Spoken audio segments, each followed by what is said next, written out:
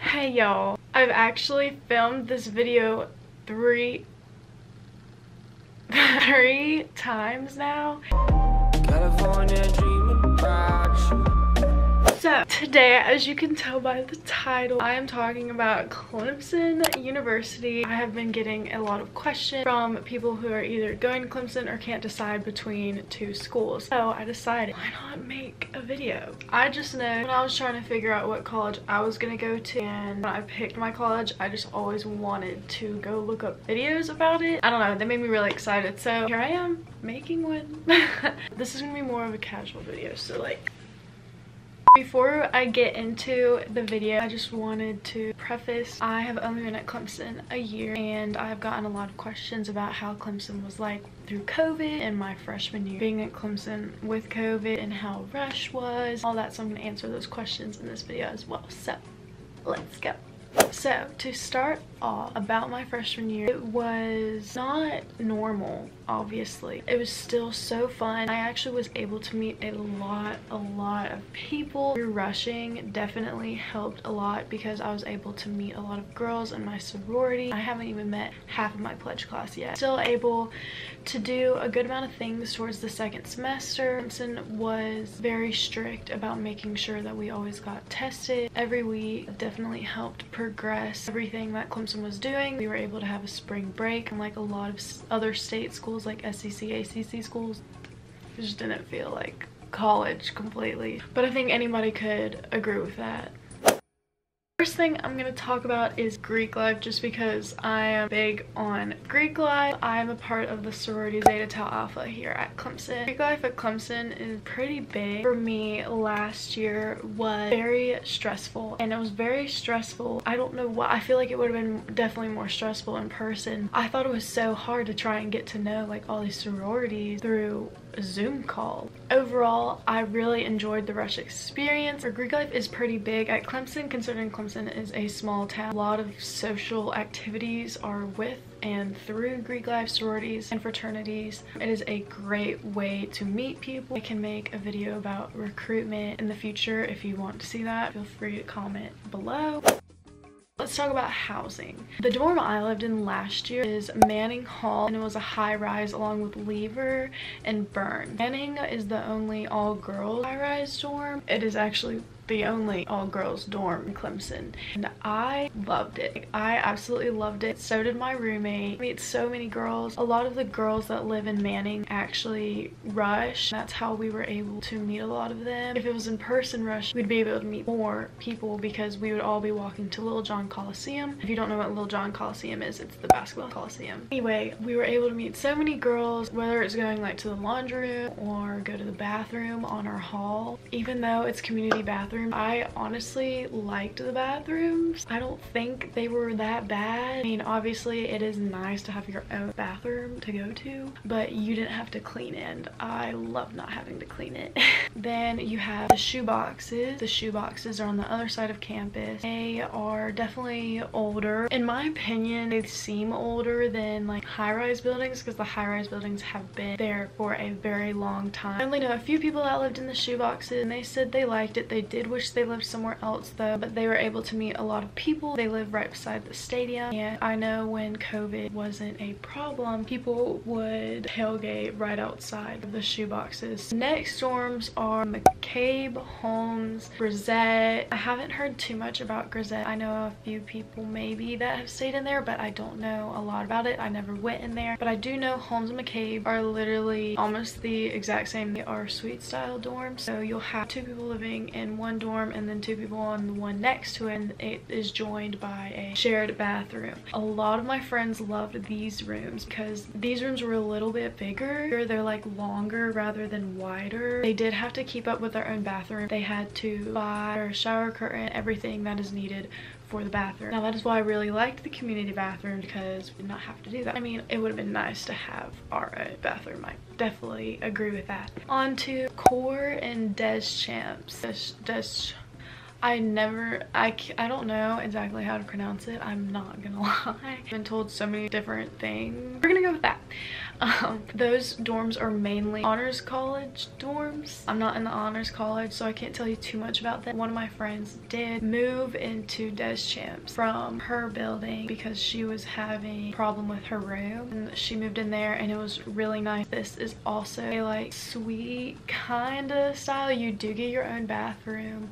Two people can live in there. They each have their own room. Now, Douthit dorms are the newest dorms, I'm pretty sure, and they are super super nice. They're very nice. I know I said that about the other ones, but they are really nice. I know a lot of people like Douthit dorms. They do have a community bathroom. I don't know what else to say except they're really nice and I like them and I know a lot of people want to live there whenever they move in. I do think it is a little more expensive than the other dorms. Let's talk about dining halls. Okay, there are three dining halls. Schilletter, McAllister, and Douthit. So Schilletter is located in the Horseshoe. So the Horseshoe is the high rises and the low rises. I didn't really talk about the low rises for dorm because I'm pretty sure the only one that people would be able to live in is Mauldin. Mauldin is a co-ed low rise dorm. There are two Smith and Barnett and those are for sororities. Those are sorority hall dorms because they are not in the Greek quad ask me, don't really know why.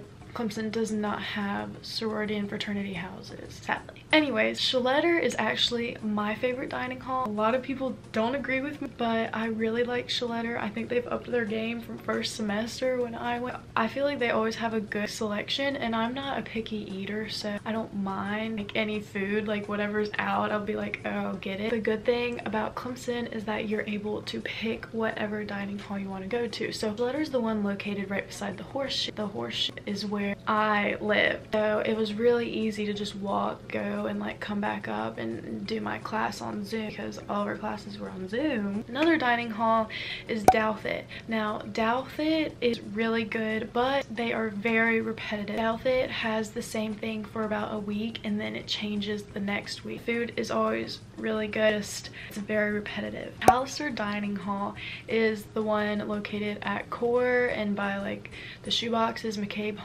All of that. It is probably most people's favorite dining hall. It also has a lot of different food choices. It has dessert, it has sushi. Not every night it has sushi before you get your hopes up. It's really big, it's nice. The Starbucks right by it, Raising Cane's, Twisted Taco, all of that is right there talking about all of these small little restaurants. There's something called Paw Points at Clemson where when you get Get your Clemson ID.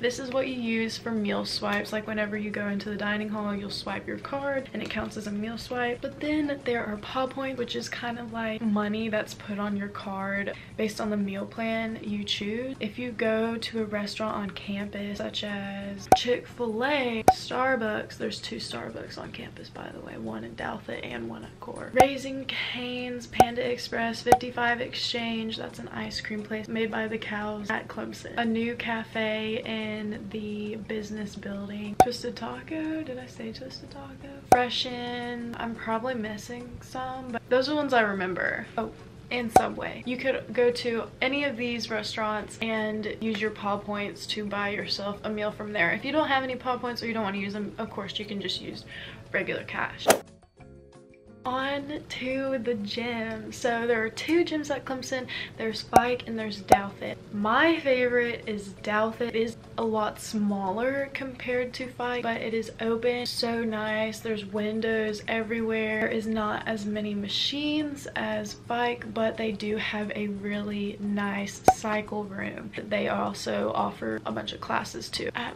Fike there are a lot more machines. There is a pool. There's a rock climbing wall. There's diving board. I don't know if you can use those anymore. A bunch more studios. They also have a really nice cycle room. All this extra stuff. The reason I don't like it as much, which so many people could argue with me, is because it's just, I don't know, I like open places. And every time I go to Fike, I like, I'm more of like a weightlifter rather than a cardio person. And every time I go to Fike and I go up to one of the like barbells or dumbbells like I'm trying to get, they're never there there. Never there. Somebody always has them. There's always so many people in there, like depending on the time you go. And it's awkward because you go up to the dumbbell or the barbell and you'll just sit there and be like, where, where to go? Is it like who has it when is it coming back yeah that's just awkward and i don't want to deal with that so at Douthit since not as many people go to Douthit i mean a lot of people still go to Douthit don't get me wrong Fike's just like a lot bigger. Now Fike does have weight racks compared to Douthit. Douthit only has one weight rack and is a Smith machine. At Fike there is a whole strength hallway is what it's called and there are weight racks like lined all up on it. It just has a lot more things, but it's really up to you and your preference. Fike is closer to core, whereas Douthit's gym is by Douthit, closer to the horseshoe downtown. Everybody loves downtown. Obviously there are a lot of bars. There's a lot of restaurants. There are also really cute boutiques where you can go get a bunch of clemson wear one thing i really like about downtown is a kickboxing place that i work out at called nine round. I love it so much. It's a 30 minute workout class. I swear you burn 500 calories just it's boxing. I love it. Also downtown there is axe throwing a tanning bed that i actually worked at this past year. Here are some of the restaurants downtown. Loose Change, Moe's, Chipotle, Jimmy John, Groucho's, Insomnia, Coco Bowls, which are acai bowls, Your Pie, which is pizza and like Italian food, Volve, Burger, Charleston Sports Pub, PD's, It's Your Wiener. Yes, that is actually a restaurant. A lot of people don't like to believe that, but it is. It's a bar. It's a restaurant that's just some of the things and then if you go further past downtown to the main road you'll come across McDonald's, Chick-fil-A, Bojangles, Zaxby's, Taco Bell, Wendy's, this new like tropical place, Starbucks, Dunkin', Mellow Mushroom, Pixie and Bill's, which is a really nice restaurant that I really like a lot. Which Wich, like a bunch of different other restaurants. There's also a Publix, Callister's Deli, TCBY, Frozen Yogurt, Red Bowl, Japanese food. There's a bunch of other Japanese food places. Orange Theory, the Gem, Publix, Walmart, all of that good stuff to talk about academics at Clemson. It's challenging. It is it is very challenging. As a bio major that just changed to psychology major, a minor in biology, depending on your major, most majors, you have to put in a lot of time for your major. And I'm mainly talking to those of you in the science department and engineering, such as like biology, chemistry, biochem, nursing, all of that. I did spend a lot of time studying. I took my academics very seriously and I love biology. I did well in it. The reason I changed was because of all of the chemistry I was having to take as a biology major. I just did not like it. Don't get me wrong, I didn't do bad in the classes. I just couldn't deal with that much chemistry because it was pretty challenging. And I can tell you, your professors matter a lot with how you do in your classes. So I strongly suggest going on Rate My Professor before you sign up and register for classes because that will make or break you pretty much. Your professors, they matter. they matter a lot. Since Clemson is such a small town, there honestly is not a whole lot to do. And there is a good amount to do, but at the same time, there's there's kind of not. There is the lake. If you know somebody that lives on the lake or has a boat and will take it out, you'll love it. There is a place called Y Beach right outside of Clemson's campus. On the lake, there's just a little beach area, a beach volleyball area. People go out there to tan. People go out there for picnics and study. Watch the sunset. They watch the sunrise. I went and watched the sunset one time and it was so pretty. Just a little note. I highly suggest going there when it's warm out and go kayaking, paddle boarding. A great study spot and they have soccer fields and there's a little rec center there as well. Also, there's axe throwing downtown. I haven't been to the axe throwing place downtown, but I have been to the one here in Columbia where I'm from, and I think it is so fun. You're really looking for something to do, good places to shop and eat and all of that. There's a good amount of places in Clemson, but there's a lot of places in Greenville. Greenville is about 45 minutes from Clemson. You don't have a car at Clemson. I know a lot of people wish they did have a car at Clemson. If you really want to go do something, you're, you're probably going to need a car. the social social part of Clemson is definitely Greek life and joining clubs, doing intramurals. There's so many people that did intramurals and they loved it. They met so many people. Usually the social aspect of Clemson is brought in by the frats and the sororities. Now, a lot of people have asked about like the frat functions. People who aren't in sororities that are girls are welcome at any of the functions. Usually if you're a guy that is a different case. Usually if you know somebody that's in the fraternity or somebody that could possibly get you in is the only way you will be let in unless you are in the frat. That is a downside to that because that is one of the main social outings that Clemson has. A comment about how often this goes on it's probably like at least once a week Things were a little different with COVID, so you never know. That is all I have left for this video. If you have any other questions or if you want me to make another video about something specific, feel free to leave a comment down below. Don't forget to subscribe for more future content, especially from me in Clemson University. Go Tigers, baby!